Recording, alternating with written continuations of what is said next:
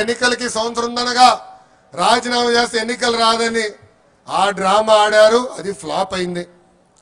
నిన్నగాక మొన్న మనం చూసాం విశాఖపట్నంలో కోడికత్తి డ్రామా. ఏం డ్రామా? కోడికత్తి డ్రామా.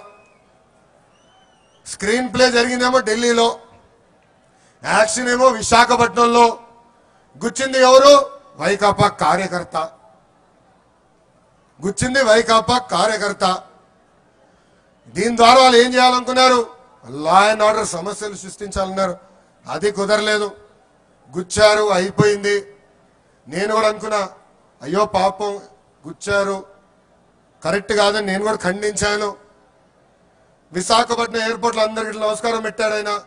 అందరికి ఇట్టిట్ అన్నారు. ఒక గంట ప్రయాణం హైదరాబాద్. అక్కడి నుంచి ఒక గంట ప్రయాణం ఇంటికి చేశారు. ఏమవలేదు కరెక్ట్గా మూడో గంట వచ్చేయాలి ఎక్కడున్నాడు ఆయన? హాస్పిటల్. హాస్పిటల్లో ఉన్నారు. వాళ్ళ పార్టీ కార్యకర్త అంటున్నారు. ఎవరైతే ఈ కోడి కత్తి తీసుకుని గుచ్చాడో అతను అంటున్నాడు అయ్యా రాజశేఖర రెడ్డి గారు మా దేవుడు. జగన్మోహన్ రెడ్డి గారు అంటే నాకు చాలా అభిమానం చెప్తున్నారు. కానీ జగన్మోహన్ రెడ్డి గారు మాత్రం ఈయన మా కార్యకర్త కాదంటాడు. అంతెందుకు? తెలుగుదేశం పార్టీ సభ్యత్వం కార్డు తీసుకుని వాళ్ళ కార్యకర్త ఫోటో పెట్టి మార్ఫింగ్ చేసేందుకు ప్రయత్నించే పరిస్థితి జగన్మోహన్ రెడ్డి గారు వచ్చారని నేను చెప్పదలుచుకున్నా. ఇది రెండో డ్రామా ఇది సాగల.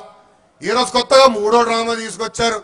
అదేంటంటే అగ్రిగోల్డ్ ఈ సభాముఖంగా జగన్మోహన్ రెడ్డి గారిని ఒకటి అడుగుతున్నా. అయ్యా అగ్రిగోల్డ్ స్కామ్ ఎప్పుడు జరిగింది? మీ నాన్నగారు ముఖ్యమంత్రిగా ఉన్నప్పుడు. అగ్రిగోల్డ్ డిపాజిట్లు ఎప్పుడు తీసుకున్నారు? మీ నాన్నగారు ముఖ్యమంత్రి గారు ఉన్నప్పుడు. హైలాండ్ అసలు ప్రారంభించింది ఎవరు? మీ నాన్నగారి మిత్రులు. అన్ని చేసింది మీ నాన్నగారి హయాంలో. ఎందుకు మళ్ళీ మా నాయకుడు చంద్రబాబు నాయుడు గారి గురించి వ్యతిరేకంగా మాట్లాడతారని ఈ సభాముఖంగా జగన్మోహన్ రెడ్డి గారు అడదలుచుకున్నా జగన్మోహన్ రెడ్డి గారు మీరు దోచేసిన లక్ష కోట్లలో అగ్రి గోల్డ్కి సంబంధించిన పేద ప్రజలకు సంబంధించిన డిపాజిట్లు ఎంత ఉన్నాయో ప్రజలకి సభాముఖంగా చెప్పాలని నేను ఆయన్ని కోరటం జరుగుతుంది. అంతేకాదు అగ్రిగోల్డ్ బా బాధితులందరికీ ఒకటే చెప్తున్నా. మన చంద్రన్న మీతో నిలబడతారు. ఎన్ని ఇబ్బందులు కేంద్ర ప్రభుత్వం పెట్టాలన్నా ఎన్ని ఇబ్బందులు జగన్మోహన్ రెడ్డి గారు పెట్టాలన్నా తప్పనిసరిగా మిమ్మల్ని ఆదుకుంటాం. మీరు అధైర్యపడాల్సిన అవసరం లేదని సభాముఖంగా వాళ్ళు నేను